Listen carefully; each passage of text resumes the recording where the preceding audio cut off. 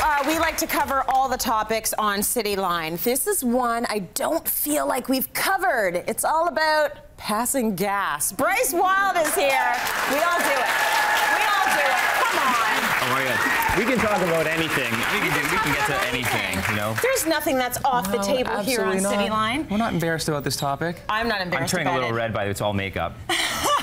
I actually think passing gas is still hysterical at 42 years old. Yeah. But, you know, it, it's one of those things that we feel embarrassed about and why are we doing it and what's going on in our bodies and is it okay? Like, is this something, is this a natural thing that should be happening? So you're going to quiz me That's right. on a few things.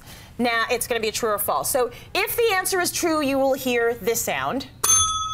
If the answer is false, you will hear this sound.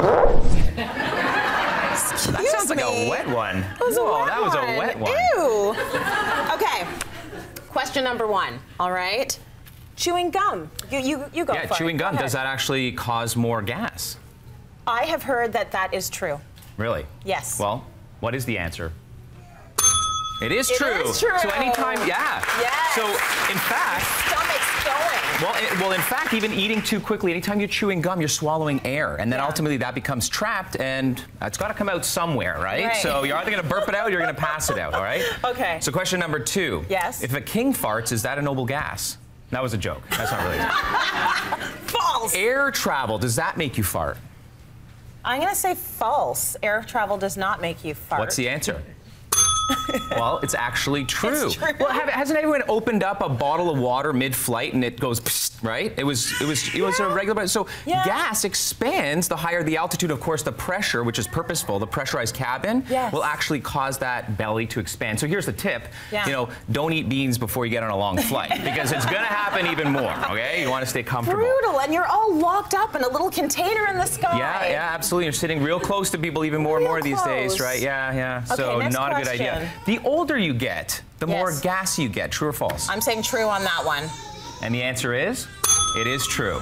So our motility, this is what it's all about. Motility means the amount of spat, like basic contractions that your gut has after you eat food, which is purposeful to get rid of what was out you know, down there, get that rid of and make more space for what's coming. So down the digestive tract here, ultimately this the uh, the rectum. Uh, down there is where the gas is going to be, you know, trapped. And as you're older, you have less of a, you know, more of a challenge pushing that out, as well as having uh, Oh. challenges with constipation. That's Yeah. why that Yeah. happens. Yep. Okay, next question. So the average person on a normal diet would pass about five to ten farts in a day. True or false? I'm gonna say false because I think it's more than that. You are. Right, you're, you're right. It was false. So the idea is that we're actually passing more like 20 a day, Oh and that's normal. So don't be embarrassed about it. You know, typically farts don't smell all that much unless Yeah. you've you know got a lot of sulfur brewing up there. And the idea is, you know what, go ahead and find a washroom and pass that gas. Not a good idea to leave it down there, you know, grumbling and So you're saying unsettled. don't try and do like the bum clench and like Don't hold do it the bum clench. Don't do Let the bum clench. out, people. No, Let no, it out. Body is doing yeah. what it should be doing Yep. 20 times a day. Oh my gosh. How about bad smelling farts? Do you think that's because you're sick or there's a problem down there if they smell? I would say that's false. There's no problem. So, and the answer is? You're absolutely right. It is Right? false. So it doesn't mean that you're sick just because they smell bad. Again, it's the sulfur brewing. Yeah. You know, and a lot of folks make this misunderstanding that, you know, by, by the way, 5 million Canadians, we have more of this problem across our country than any other country. We haven't figured out why have irritable bowel syndrome, which includes either diarrhea, constipation, and lots of gassiness. So Yeah. as Canadians, we're passing more than most. That's probably why we have a problem with our ozone layer. You know, that's, a, that's my opinion. That's not scientific, We're by a the way. farty population up here. So how about uh, foods high in protein? Do you think that that would ultimately make you fart more or cause stinkier farts? I'm gonna say false on that one. and the answer? It's also false. You're on. She's getting, yeah, you're beyond the Yes. 50th. You know your farts. My farts. it's This absolutely true. It's absolutely true. Nothing to worry about. ask me one more Last question. one, exercise. Do you think that that helps you to pass gas and ultimately fart less? I'm gonna say true on that one. All right, and you would be?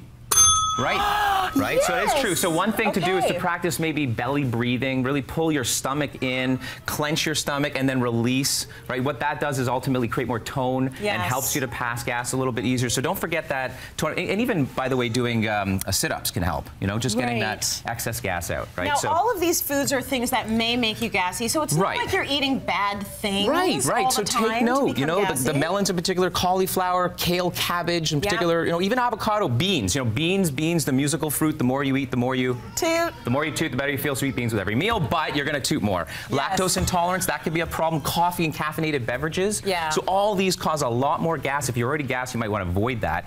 You know, carminatives, which means essentially helps to relieve gas and decrease bloating. Mm-hmm. And, uh, you know, ginger is an anti-inflammatory. So uh, anise, uh, you might have heard of that. Star anise, Anise, yep. star, star anise. So this tastes like uh, licorice. You know, smell that. I love that stuff. Caraway seeds. All these Mm. seeds are going to do is in caraway. You, you know, know from pumpernickel bread. That's so it's going to reduce the amount of gas in your stomach as a carminative. They'll also, and, and you know, ginger is another example. It's got gingerols, anti-inflammatory, but they'll also um, measurably decrease the amount of spasms. So the more you're spasming, the more you're passing gas. all Right. Uh, an amazing study done. Uh, which showed actually Health Canada now uses a claim, uh, which is amazing, on soluble fiber that all, not only treats irritable bowel syndrome Mm-hmm. and reduces constipation, even in kids, by the way. The only other claim for children, by the way, used to be prune juice. It's got to be so safe and That's effective, but now it's soluble fiber, which is amazing. So this one is our one of our own Canadians, Lorna Vanderhaeghe. What she created was soluble fiber with probiotics called Regular Girl. This stuff just mixes into water. It's Ah. so you tasteless, keep the odorless. probiotic in your system and you get rid of the of the fiber. Bingo. so, Right, so, okay. so the idea is feeding the good bacteria. They need Yeah. to eat as well. What's in here? just soluble fiber. Just it's, a- it's the regular girl. You're a regular girl, just like mm-hmm. so. Keeping you regular, reducing gas by feeding the good bacteria. When there's too much bad bacteria in there, you're making more gas. So we got to Right. regulate this. It's called dysbiosis, imbalance good and bad bacteria. Okay. Lastly, reach for the you know chamomile and Oh, no, no, not green tea. Chamomile and peppermint tea. Peppermint's Oh, got an yes. amazing ability to know that. relax the intestines. Really Yeah. good information. Yeah, you know, my you. only takeaway from that is let your farts out. and that should be the that should be the number one takeaway in Right? this show.